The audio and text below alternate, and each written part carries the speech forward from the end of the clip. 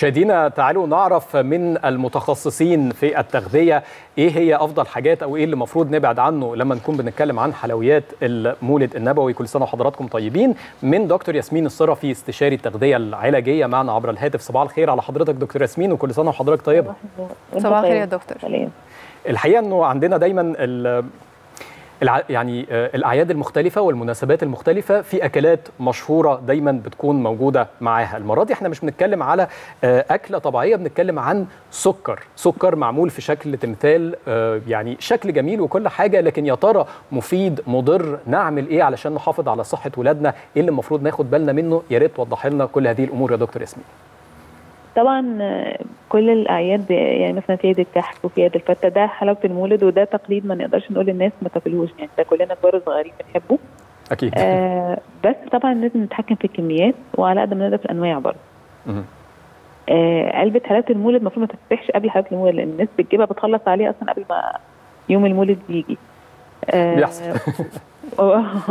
وبعدين المفروض ما نشتريش العلبة على بعضيها كده. يعني كل واحد يختار النوع اللي بيحبه آه يعني اللي بيحب الفوليه اللي بيحب السمسميه يختار مثلا آه يعني نختار حاجة من كل حاجة كل يوم تاكلي حاجة مرة سمسميه مرة فوليه ولا ولا كده. لكن بلاش ال ال العلبة اللي بتيجي على بعضها كده إن في حاجات بتبقى مضرة جدا سكرها عالي جدا جدا.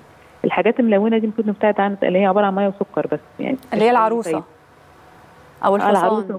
آه والحصان وفي الحاجات الملونة كتير قوي كده بيبقى لونها أصفر أحمر وأخضر بتبقى زي الملبن كده شوية.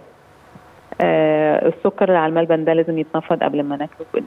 نخلينا في الحاجات اللي فيها مكسرات على الأقل مفيدة. السمسمية مليانه يعني ناكل اللي إحنا عاوزينه بس بكميات بسيطة.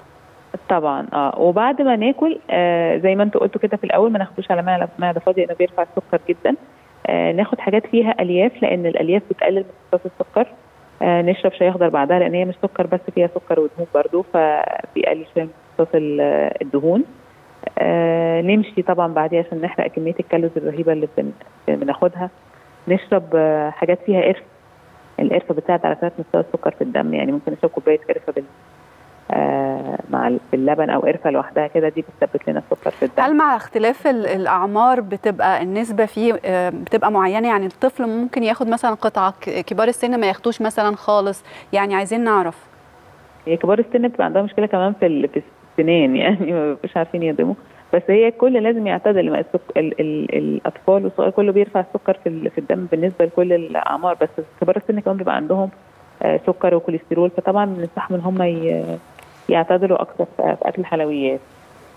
الحقيقة بنشكرك. شكرا جزيلا دكتورة ياسمين الصرفي استشاري التغذية العلاجية على هذه المعلومات.